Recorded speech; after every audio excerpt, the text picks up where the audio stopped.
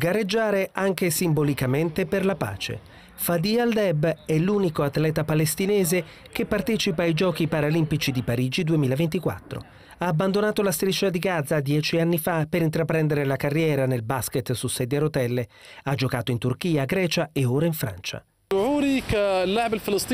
Sento una grande responsabilità, spiega l'atleta, perché ora non parlo per me stesso né competo per il mio nome. Oggi rappresento milioni di persone. Quando alzo la bandiera provo una grande responsabilità, ma anche una grande tristezza.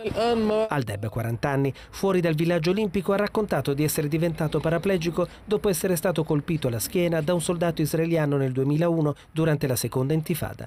Il Comitato Olimpico Palestinese è stato riconosciuto nel 1995 dal Comitato Olimpico Internazionale. Non sono mancate le polemiche ai giochi sulla partecipazione degli atleti israeliani dopo il duro conflitto tra Israele e Hamas.